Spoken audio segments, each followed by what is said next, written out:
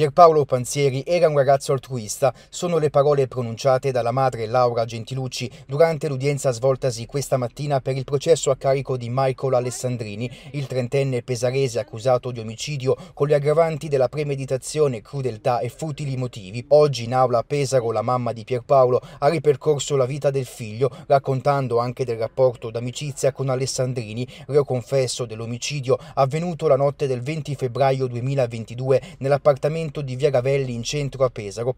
Il trentenne, attualmente in carcere a Villa Fastigi, è un ragazzo particolare, l'ha definito così Laura Gentilucci, che ha scritto una lettera alla procura chiedendo giustizia. Io ho le stesse aspettative che vi ho detto il primo giorno che è successa questa cosa. Io voglio giustizia per mio figlio.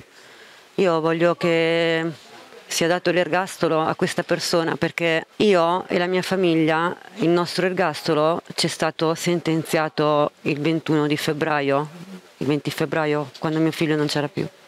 E a me questo ergastolo non passa più.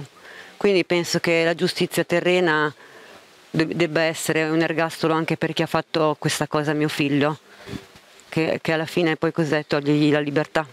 Mio figlio è sottoterra. Pierpaolo amava la musica, suonava il pianoforte, la chitarra, la tromba e scriveva anche poesie. Quest'ultime sono state raccolte in un diario consegnato da mamma Laura alla presidente della Corte d'Assise Lorena Mussoni. Ho voluto mm, consegnare perché qualsiasi cosa io a parole posso dire di Pier, comunque sono parole e invece lì dentro c'è proprio l'essenza di, di, della sensibilità di quello che era Pier e quindi penso che può descriverlo molto meglio una sua poesia che mille cose che la mamma può dire di, del suo figlio. Ascoltata questa mattina anche la testimonianza del fratello di Pierpaolo Gianmarco Panzieri, i due lavoravano insieme nella ditta conduzione familiare, è stato lui Gianmarco quella tragica mattina ad entrare per primo nell'abitazione di Via Gavelli.